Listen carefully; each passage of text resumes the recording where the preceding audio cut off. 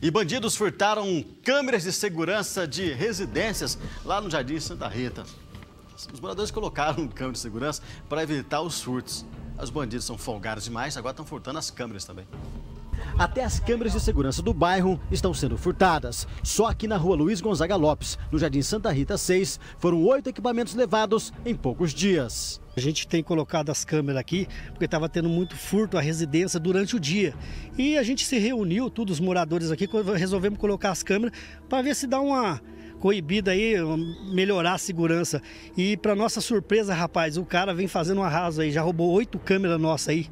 Tem imagem dele tudo, temos a Polícia Civil já está em cima, a Polícia a P2. Mas no último furto acontecido nesse final de semana, a ação do bandido foi toda filmada. O criminoso aparece furtando equipamento de uma das casas. Não contente, ele atravessou a rua, escalou um poste de quase 3 metros de altura e furtou a câmera de uma outra casa.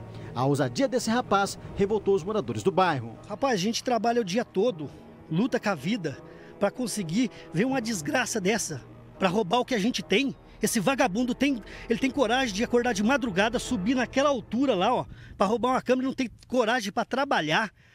Pô, meu, é complicado, é revolta. Esse outro morador também já foi vítima do mesmo marginal. Furtaram um step, no final do ano tentaram furtar a lona e uma vez vieram roubar a bateria aí, só que deu o alarme disparou, eles, eles fugiram, não sei, não tem medo de nada. Eles pararam o carro embaixo da câmera, saíram ali, vieram ali, mexeram e câmera tudo filmando e tem um guardinha que passa na rua de noite, ele não liga para mais nada não. A revolta aqui no bairro é tão grande que os moradores se uniram, instalaram câmeras de segurança, cerca elétrica e prometeram, se pegar algum criminoso cometendo crimes aqui no local, Olha, sinceramente, eu não queria estar na pele dele. O pessoal tá todo revoltado aí, porque se chega a pegar aí alguém pulando dentro da casa, alguma coisa aí, eu não quero estar na pele desse povo não, que o povo, o povo tá revoltado.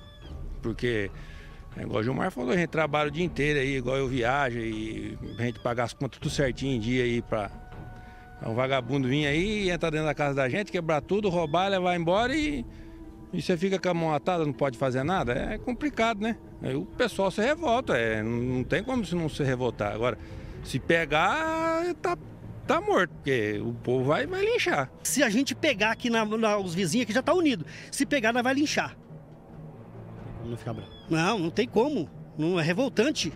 A gente trabalha o dia todo para cuidar dos nossos filhos, a gente estuda para um lixo desse, um lixo humano que vem comer a comida do mundo, no mundo para vir aqui destruir o que é da gente? Esse lixo merece morrer, essa praga. É, ladrão. Os caras estão bravos lá, hein? Ó, eu, se eu fosse você, não voltar mais pro bairro, não. Sabes que se pegarem lá, vão dar um cambal e depois não adianta chorar. Depois não adianta te pedir, pelo amor de Deus, para parar. Então, vá virar gente, cara. Vai trabalhar. E o pessoal tá bravo, hein? Ah, depois, depois não adianta falar que a gente não avisou aqui, hein? Não adianta falar.